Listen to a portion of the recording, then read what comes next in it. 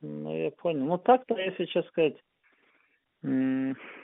короче, мою фамилию так-то подали в этот э, в Южный военный округ. Вот. Э, военкомат.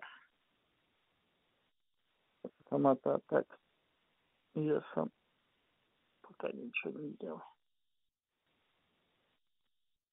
Ну, я понял, да. А в связи с этой ситуацией там же людей, как говорят, сейчас нету. Сейчас людей, всех, кого увольняли, так сказать, по беспределу, сейчас обратно вызывают, типа, приходите.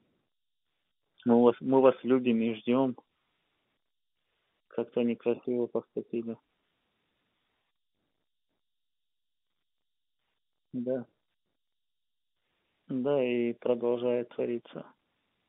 Но я думаю, все-таки вот то, что они вот эту ком- коммерческую армию сделали за деньги принимать, вот теперь они это схав- похавали все, поели, так сказать. Ну.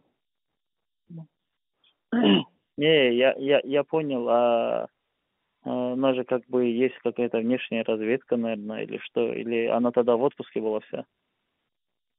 Я что-то, честно сказать, я в это все не верю. А, Либо нашего ВВ просто жестко обманули. А, Просто жестко. А, Вот, свое же окружение. Ну, либо, я не знаю, это как это, ну, не знаю, это как-то смешно, это, это смешно просто как-то. Мы думали, что они, как мы приедем, будут на ноги целовать. Не, это все понятно, да, но там же это же для кого-то, это же для нас не новое, как, ну, как для меня это может быть и новое. Но кто там, как, как взаимоотношения, кто строит, для них же это не новое.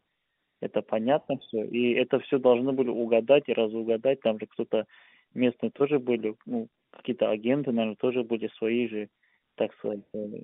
ка- Такое ощущение, как будто в этот период всех в отпуска отправили.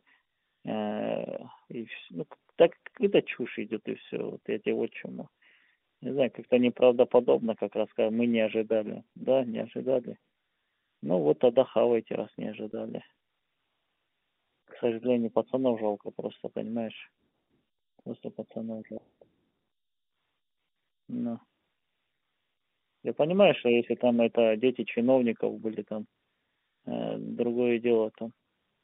Э, но когда вот эти дурацкие э, тупорылые решения принимаются, м, не осведомленными людьми, э, как-то жалко. Ну, очень многие остались. Э, Там э, с Кавказа очень много кто пострадал, так сказать, очень много.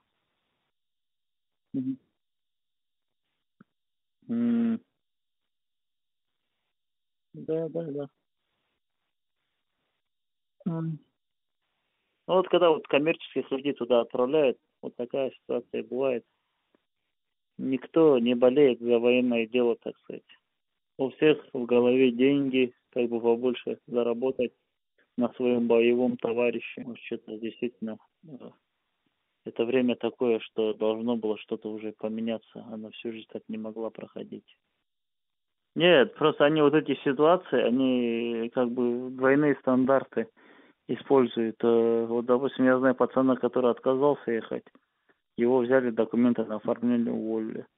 А знаю в другом месте, ну я не знаю, может они вот это тоже э, статистику ведут, русский, не русский.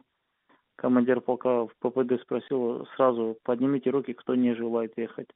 Начальник строевой поднял, там майор один есть, э, поднял руку. Я, говорит, не- я не поеду, говорит, я не собираюсь там погибать, говорит. Ну, он говорит, ну не хочешь, не едь, говорит, оставил его, короче. Ага, ага, ага, понял, понял, понял, понял. А, как-то так. Ну, если что-то будет, я тоже дам знать. Вот, но пока такая обстановка, пока я говорю, пока сам тоже не сувался, особо не суюсь. Да, полным ходом наборы идут, я тебе так скажу. Ну, конкретно по, по нам, по офицерам неизвестно, что там вообще происходит, я тоже не узнавал. Ну, по контрактникам знаю, что по людям очень сильно идет наборы. Но люди не идут, короче. Да. как мне сказали, добровольцы, говорит, больше идут, говорит, чем таких. Хорошо, брат, хорошо. Давай, не пропадаем на связи. Спасибо, что позвонил от души. Да не, все нормально. Все четко. Все, давай, рад был слышать, давайте успехов.